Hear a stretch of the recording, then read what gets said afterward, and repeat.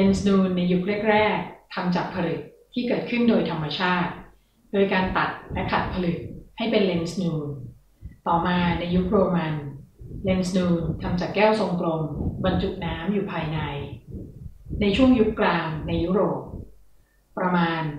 1,500ถึง500 ปีที่แล้ว หนังสือถูกทำขึ้นด้วยมือ โดยพระเป็นคนประดิษฐ์เลนส์นูน โดยการตัดแก้วทรงกลมออกเป็นครึ่งหนึ่ง เพื่อนำมาใช้สำหรับเขียน เลนส์นูนที่คุณภาพดี ได้เริ่มต้นทำขึ้นที่ประเทศฮอลแลนด์ ในช่วงปีประมาณ 1,500 ก่อนคริสตกาล จากนั้นเลนส์นูนได้ถูกนำมาใช้ทำกล้องดูดาว กล้องส่องทางไกล และกล้องจุลทรรศน์ ซึ่งนำไปสู่ประโยชน์มากมายทางวิทยาศาสตร์ เช่น การค้นพบดาวเคราะห์ดวงเล็กๆ ที่อยู่ห่างไกล เซลล์และแบคทีเรียที่มีขนาดเล็กมากๆ ที่มองไม่เห็นด้วยตาเปล่า ในกิจกรรมคิดเองทำเองนี้ เราจะสร้างเลนส์นูนจากหยดน้ำและดูว่าเราสามารถนำไปใช้เพื่อขยายวัตถุได้อย่างไร เราจะได้สำรวจว่าถ้าขนาดของหยดน้ำเปลี่ยนไป จะเปลี่ยนกำลังขยายของเลนส์ได้อย่างไร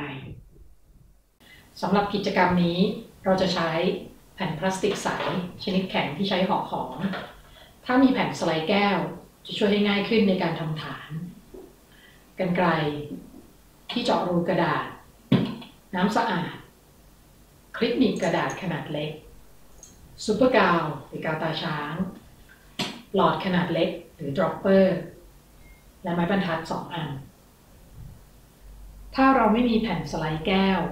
ให้ตัดแผ่นพลาสติกแข็งให้มีขนาด5คูณ1.5เซนติเมตรและตัดอีกแผ่นให้เป็นสี่เหลี่ยมจัตุรัส ที่มีด้านละ 1.5เซนติเมตร และใช้ที่เจาะรูเจาะรูตรงกลางของแผ่นพลาสติกจัตุรัส จากนั้นให้นำไปติดบนแผ่นสไลด์แก้ว หรือพลาสติกแผ่นใหญ่ โดยใช้กาว เพื่อใช้เป็นฐาน ให้ใช้กาวเพียงเล็กน้อย และให้ทากาวห่างจากรูกลมที่เจาะไว้ หยดน้ำน้อยๆ ลงในหลุมกลมที่เจาะไว้ด้านบนของแผ่นพลาสติก จนน้ำมีรูปร่างเหมือนพระจันทร์เสี้ยว ที่ด้านหนึ่งเป็นระนาบ สูงประมาณ 1-2มิลิเมตร และนี่คือเลนส์หยดน้ำของเรา เราจะเปลี่ยนปริมาณน้ำเพื่อทำให้เลนส์หยดน้ำสูงขึ้นหรือต่ำลง และจะส่งผลต่อกำลังขยายของเลนส์ ให้วางเลนส์หยดน้ำบนกระดาษที่มีตัวหนังสือ จากนั้นยกเลนส์หยดน้ำขึ้นเหนือกระดาษ โดยใช้คลิปหนีบกระดาษ รองด้านล่าง ทั้งสองด้านของแผ่นฐาน เมื่อมองตัวหนังสือผ่านเลนส์หยดน้ำเราจะเห็นว่าขนาดของตัวหนังสือถูกขยายใหญ่ขึ้น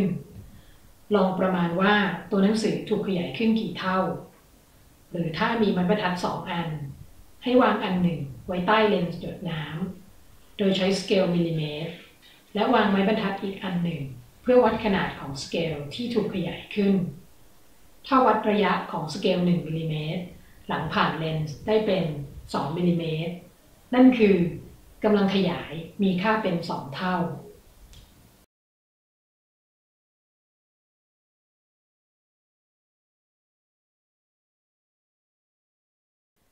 กำลังขยายของเลนส์นูนเท่ากับลบ v หารด้วย u เมื่อ u คือระยะทางระหว่างเลนส์ถึงวัตถุ และ v คือ ระยะทางระหว่างเลนส์ถึงภาพ แต่ภาพเกิดอยู่ที่ไหน ภาพเกิดที่ด้านหลังของดวงตาเราหรือไม่ ระยะภาพนี้ไม่ใช่ระยะทางจากเลนส์ถึงด้านหลังของดวงตาเรา เนื่องจากภายในดวงตาเรา จะมีเลนส์นูนอีกอันหนึ่ง และจะปรับโฟกัสแสงไปที่เรตินาหรือจอรับภาพหลังตา กรณีที่เราทราบความยาวโฟกัสของเลนส์เราสามารถหาระยะภาพ v ได้จากสมการ เซนหนึ่งส่วน f เท่ากับเซนหนึ่งส่วน u บวกเซนหนึ่งส่วน v กรณีที่เลนส์ไม่หนาเกินไป ในกิจกรรมของเราต้องหาค่าความยาวโฟกัสของเลนส์หยดน้ำก่อน ความยาวโฟกัสของเลนส์หยดน้ำสามารถคำนวณได้จากสมการช่างทำเลนส์ ในกรณีของเลนส์หยดน้ำเป็นเลนส์นูนแกมระนาบเนื่องจากด้านหนึ่งของเลนส์นูนแกมระนาบอยู่บนแผ่นฐาน และอีกด้านมีลักษณะโค้ง เนื่องจากแรงตึงผิวของน้ำ เมื่อให้ r2 เท่ากับลบ infinity สำหรับด้านระนาบของเลนส์หยดน้ำ เราจะหาความยาวโฟกัสได้จาก r1 หารด้วยค่าดัชนีหักเหของน้ำลบ1เป็นการยากที่จะวัดค่ารัศมีความโค้งของผิวน้ำ แต่เราสามารถหาได้ถ้าเราวัดขนาดเส้นผ่าศูนย์กลาง ของรูที่เจาะไว้บนแผ่นพลาสติก และความสูงของหยดน้ำ เราทราบแล้วว่าค่าดัชนีหักเหของน้ำเท่ากับ 1.33 และขนาดเส้นผ่านศูนย์กลางของรูที่เจาะไว้เท่ากับ 5.5 มิลลิเมตร เราสามารถสร้างสมการใหม่ เพื่อหาค่าความยาวโฟกัส ในเทอมของความสูงของหยดน้ำ ในตอนนี้เราทราบค่าความยาวโฟกัสของเลนส์หยดน้ำ เราสามารถย้อนกลับไปคำนวณค่ากำลังขยายของเลนส์หยดน้ำได้ เราจะพบว่ากำลังขยายของเลนส์เท่ากับ f หารด้วย f ลบ u จากนั้นเราสามารถเปรียบเทียบค่ากำลังขยายที่ได้นี้ กับค่ากำลังขยายที่เราหาได้ในการทดลองแรก ถ้าหยดน้ำสูง 1มิลลิเมตรเราพบว่ากำลังขยายมีค่าเป็น 1.6 เท่า แต่ถ้าเราทำให้หยดน้ำหนาขึ้น โดยการเพิ่มปริมาณหยดน้ำเข้าไป ให้มีความสูง 2.5มิลลิเมตรกำลังขยายของวัตถุที่ระยะเดียวกันจะเพิ่มขึ้นเป็น 2 เท่า ดังนั้นถ้าเลนส์ยิ่งมีความหนา ค่ากำลังขยายจะยิ่งสูงขึ้น จากสมการจะเห็นว่า ถ้าเราเปลี่ยนระยะวัตถุกำลังขยายจะเปลี่ยนไปด้วย คุณสามารถให้ผู้เรียนทดลองเลนส์หยดน้ำหนาหรือบาง และลองเปลี่ยนระยะวัตถุ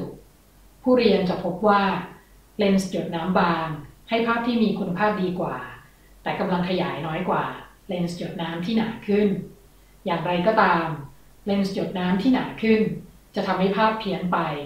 โดยเฉพาะบริเวณที่ใกล้กับขอบของเลนส์จากการทำกิจกรรมอย่างง่ายนี้ และการสำรวจค่ากำลังขยายของเลนส์หยดน้ำจะช่วยให้ผู้เรียนมีความเข้าใจเกี่ยวกับเลนส์นูนและแนวคิดเรื่องกำลังขยาย ผู้เรียนจะได้เห็นว่ากำลังขยายสูง จะช่วยให้มองเห็นวัตถุเล็กๆ ได้ชัดเจนขึ้น และแม้กระทั่งหยดน้ำก็สามารถขยายวัตถุได้ถึง 10 เท่า ผู้เรียนจะสนุกกับการสร้างเลนส์หยดน้ำของตัวเองขึ้นจากกิจกรรมฟิสิกส์คิดเองทำเอง